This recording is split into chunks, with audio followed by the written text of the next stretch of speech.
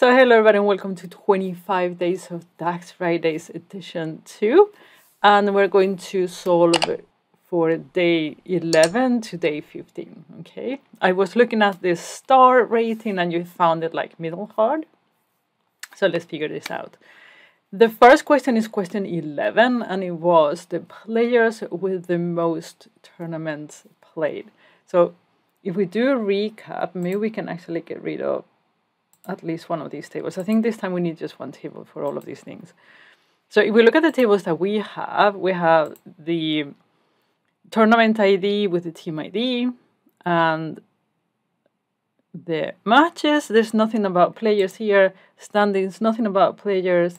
Teams, nothing about players. Tournaments, nothing about players. So we need to actually go and grab a players table. So if we go to the code book, you're going to find that there is a table called players. How convenient. So here it says that this dataset contains all the records about the player. So we're going to import that.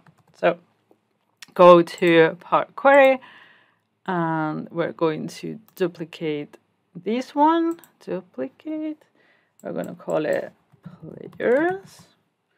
And then we're going to, this we don't need, Tournament name we don't need because we have it on the tournament table.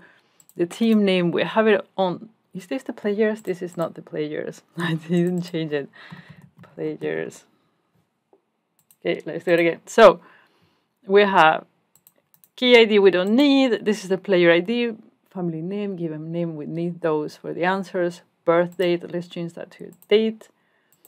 If it is a goalkeeper, a defender, a midfielder, forward, count of tournaments, count of tournaments. So we need to know which player played most tournaments. We have a table that contains players and how many tournaments they played.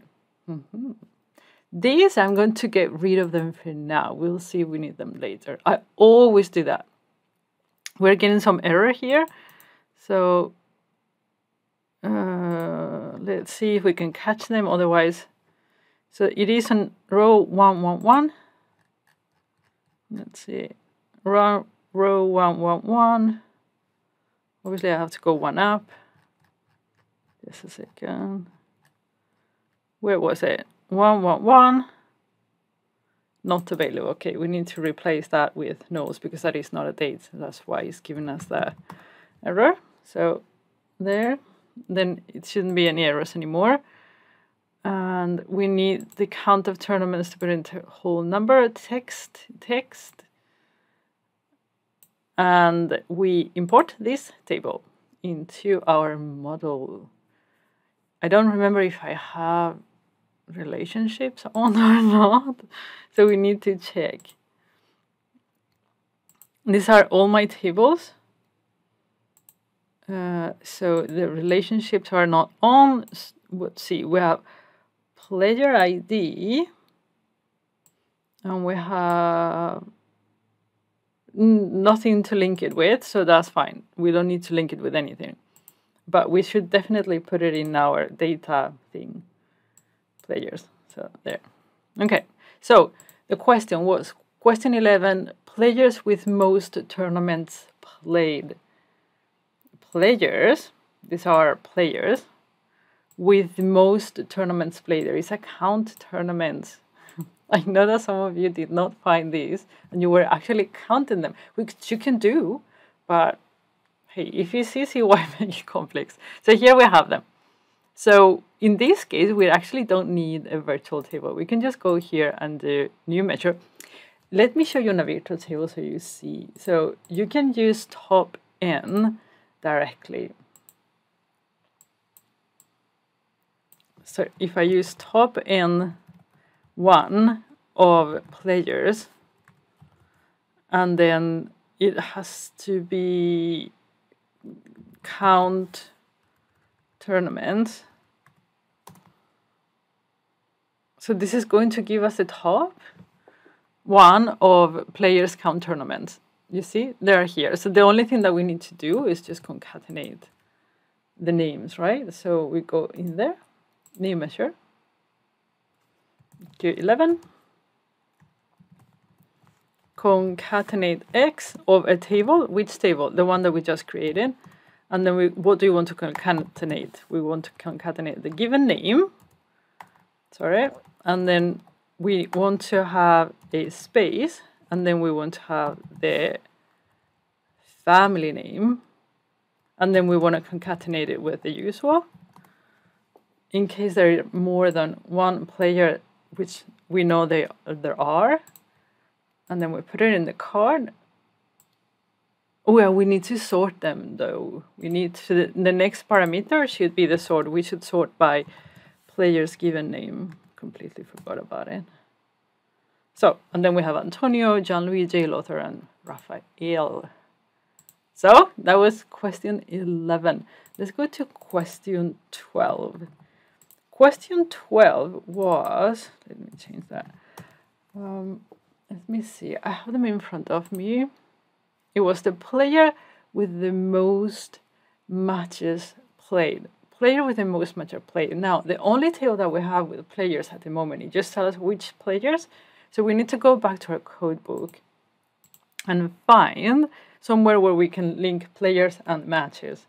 And how convenient, there is a player appearances that conveys, that tells you which match played each player per team. So this is the table that we need. Copy. Go back to Power Query. And then we're going to import that table. So we're going to go there, duplicate. At the source, we're going to change players with the appearances. And then we're going to get rid of everything below that. And we're going to get rid of some uh, stuff here. So tournament name, we don't need it. We already have it. Match ID, we don't have it, so we need it. Player, uh, um, I think it's spelled like that. So match name we don't need. There's actually a table called matches that we will use later on. Uh, did you see my Python script? we have stage name. Get rid for it for now. Group name, nothing. This will come from the match table. Mm, we have a team ID. Can leave it. Team name, no. Don't want it. Match date, we don't need it for now. Uh, team code, don't need it home team away, no. Player ID we need, family name, no. Ungiven name, no, because we haven't on the players table the shirt number, no, no, no, no, no. I have everything? Um, I think I do have everything. Okay, so they have the right type player appearances, closed and applied. So we want to know the players with most matches played. Players with most matches played. So let's look at our model. Where is the table?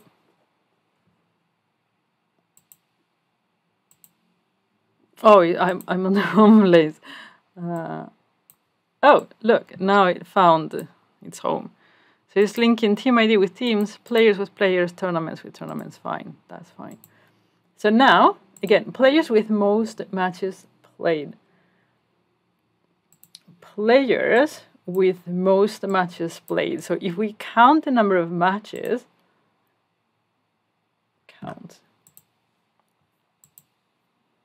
We can see here that this player and the player is Mr. Lothar has the highest number of uh, matches played, 25 actually. So now we're going to create a table to put everything together. So now it's going to be fairly simple.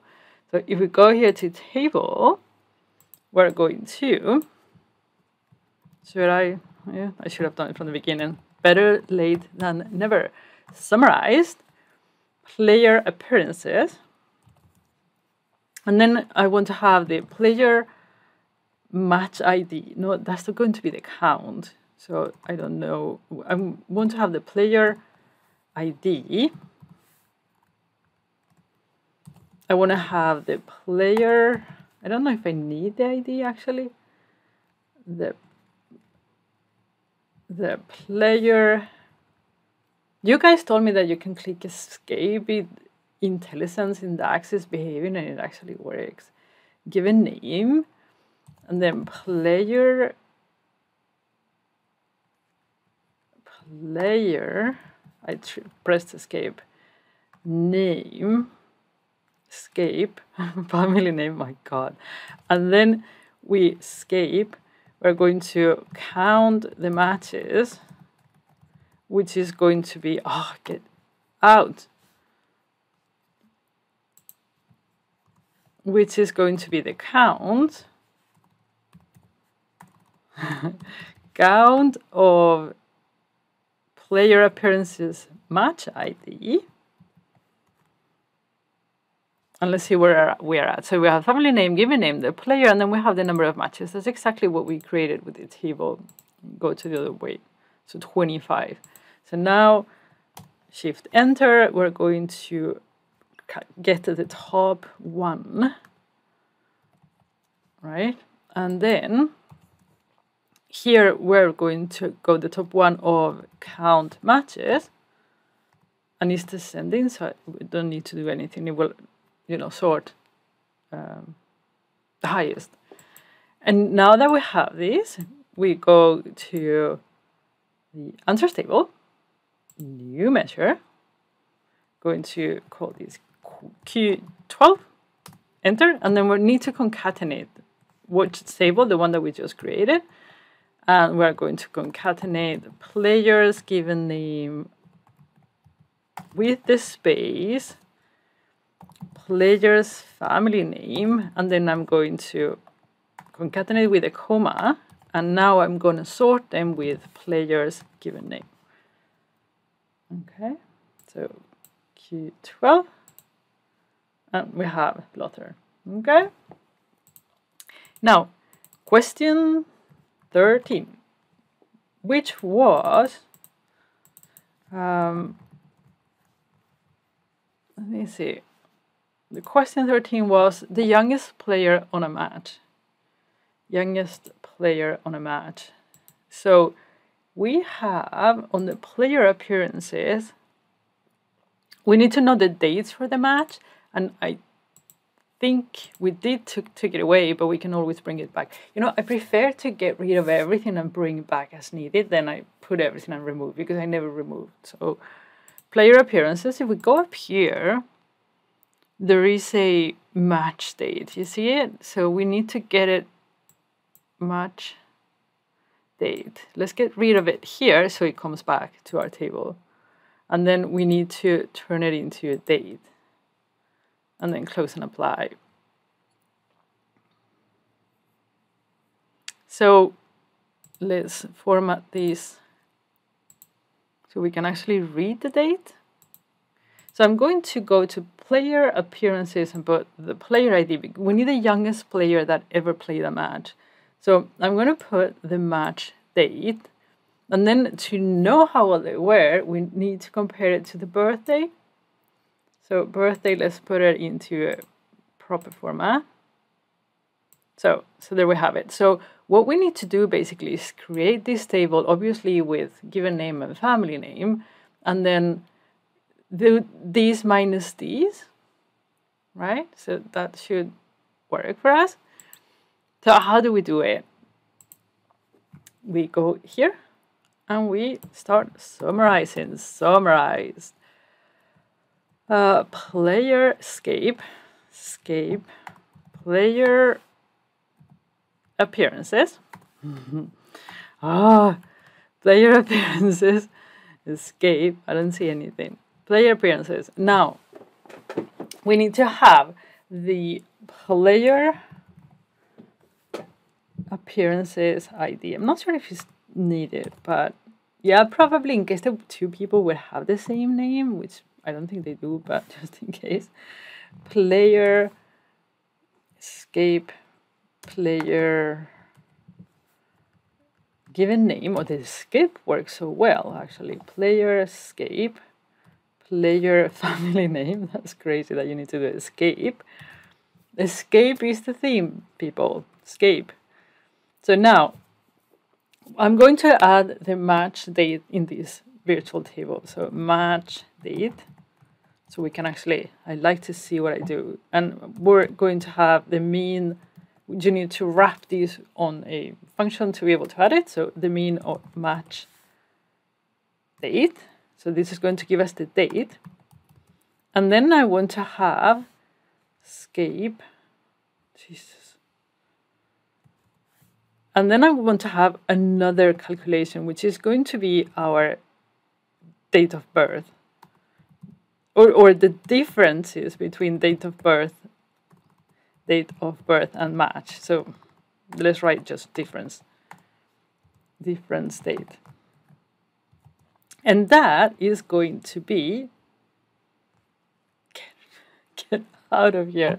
Okay, so we're going to get date diff date one. I think that one is the starting date, which in this case is our players.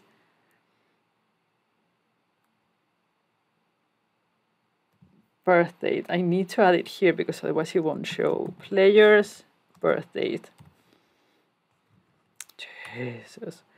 Player's birth date and then match date. Players. Yes, we, I need to have obviously wrap it in something. Match date.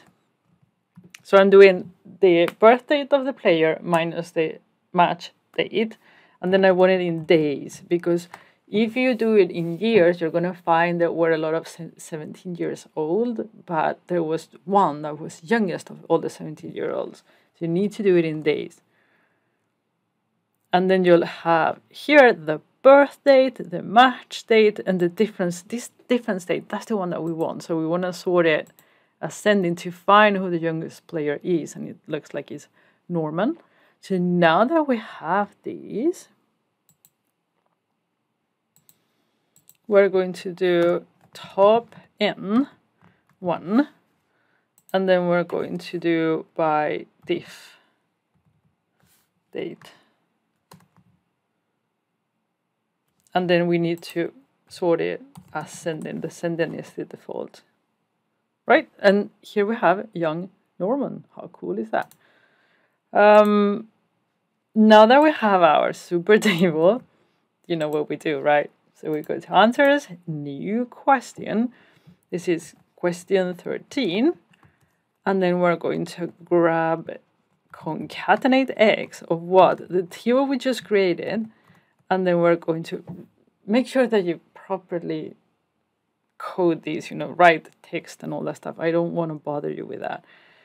So this is player given name and then concatenate with player family name and then you concatenate it with a comma and a space and then you sort, remember to sort, player given name. There is only one now, but it could come somebody else later. And there we have Dear Norman. How cool. Okay, so now that we've done the hardest part, which is figure out how to actually calculate the, the date of the person when they were playing a match, the rest of the questions are quite easy. So for this, the question 14, I'm going to actually duplicate this page. I'll tell you why in a second. Question 14. The question 14, it was Yes, the second. So the youngest player on a final. So we need, here we have the youngest player that played a match. Now we need to have the youngest player that play a match where the match was a final. So we can actually reuse the code that we had. Let me show you. So this is the code that we have. Uh, let me go to table so we actually see the data. So here instead of just taking all the matches, we want to calculate the minimum of the match where calculate the match was a final. But how do we know that the match was a final? So there are two ways. So we can actually go to match ID. Should we do that? The proper way should be to go to get the information about the matches. Maybe we should do it and then grab it from there because there is actually a table called matches that we're going to need that tells us all about the matches. So, you know, all the metadata about matches. So let's go and grab that. Go up duplicate, source, matches, and then we're going to get rid of those two. Okay, so these are the matches, and we don't need this one, we don't need the name of the tournament, and then this is information about matches that we definitely do need. And as you can see, group stage, knockout stage, replayed, replay. There's like a ton of stuff for now I'm going to get rid of. Check this out, match state. We should have used the match state from this table. Stadium ID, no, not now, no. Home team ID, maybe home team code. No. no. Don't need that one. Don't need that one. Don't. I guess that that's the team ID. We already have that. The scores for the match we probably will need. Score margin, extra time, penalty shots, blah blah blah. Results. Don't care. Away, win, draw. Okay. So these are whole numbers. This is text. These are numbers. That is text, text. Match state is a date. Um, group stage we have here, which is what we were looking for. Close and apply. So if we go to our table, we need to get, well, let's check the relationships first. Where's our matches? So the matches,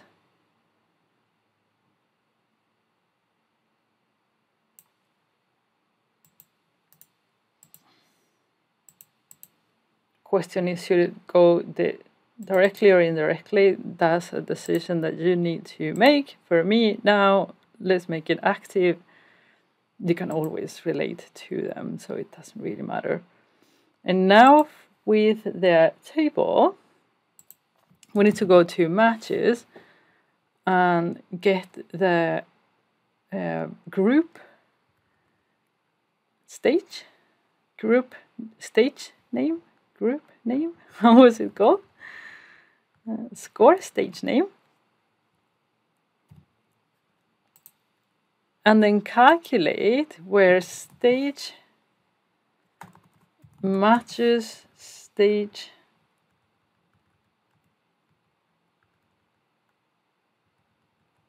name equal to, I guess, final. And I need to get rid of that. so this is giving me now the players where the matches was a final and then the difference between the days. So this is basically the youngest player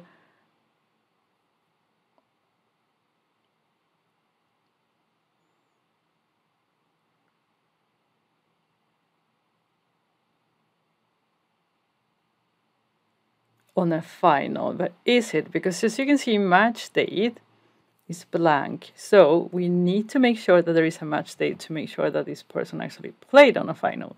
Otherwise, this wouldn't have played. So I need to go in here, filter,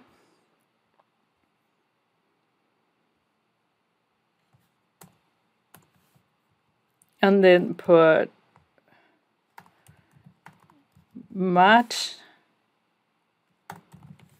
date is not blank. So we want that person to have actually played. On a final.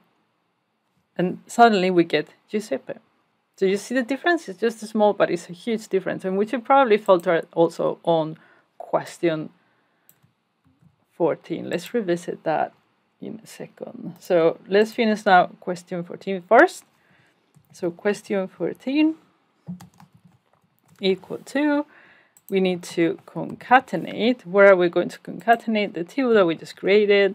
And then we need to have given name concatenated with player name, family name. And then we need to boom, boom, boom. And then we need to sort it by players given name. And then we're going to put these, and it should be 14, and then we have Giuseppe. Let's go back to 13 for a second, because the match state, we can actually here use matches, match state, and here the minimum will be matches. Match name date sorry date. And we are going to filter the table where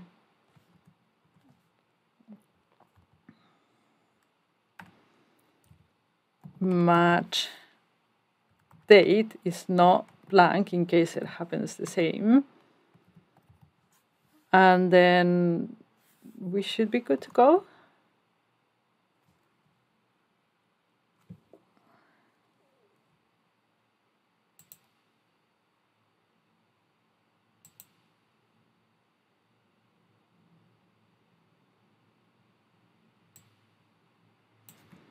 This is matches.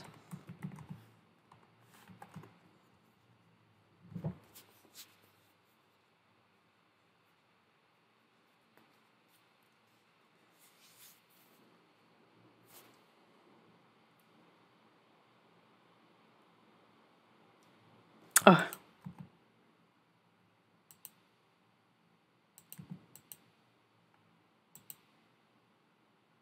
So it was the same thing. So obviously we get the same result, but it's a little bit more foolproof.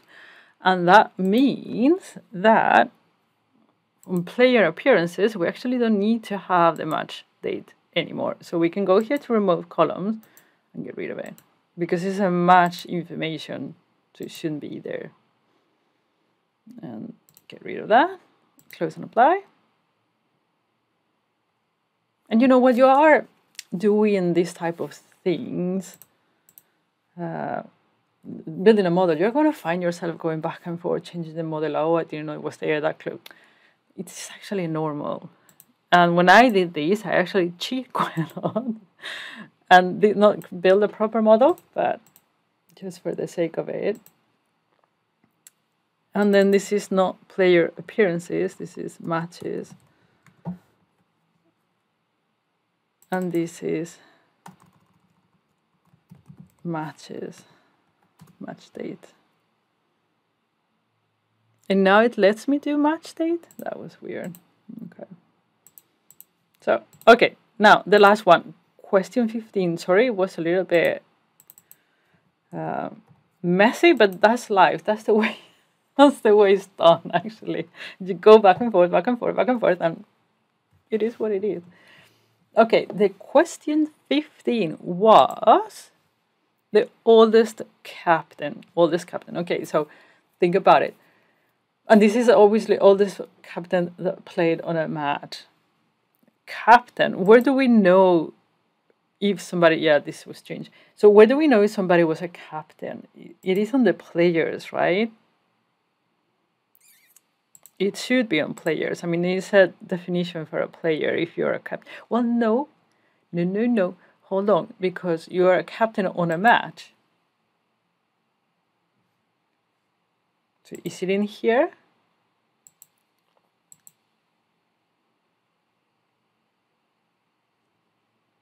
But it's for a player, so maybe it's here. Captain, there it is. So get rid of it. So it comes up here, captain, and then uh, it doesn't matter if it's a number or, let's put a number. I hear they compress better, so we can put it as a number. Captain? And it was on player appearances. Okay, so now remember we have a table that this table, let's fix it a little with matches.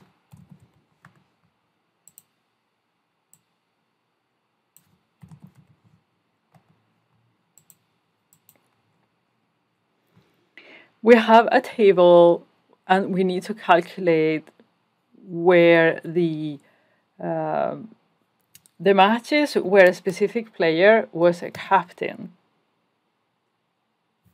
So we need to have the filter here. It was player appearances, um, captain equal, we change it to a number, so it should be equal to 1. So this will give us the matches where a specific player was a captain.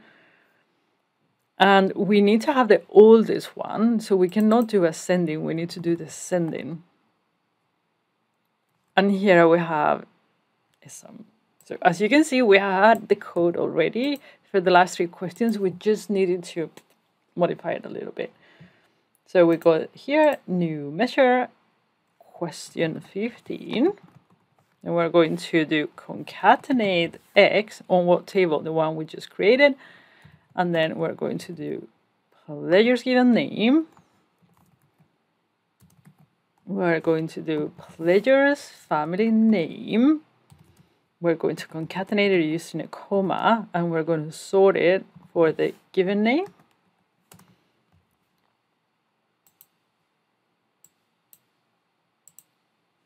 And here we have it. Okay, okay, so what do you think? I apologize that I made a little bit of a mess. Obviously, I could go back and edit it, but I think it's quite good that you get a, an idea of what it actually is to model things. You know, you have to go back and forth and you will find columns that you didn't know existed, and then you will have to redo your model, redo your measures, it's life. It's, it's normal. so I hope you're enjoying the challenge. I am definitely enjoying it. And uh, I will see you again next week with some other Power BI videos.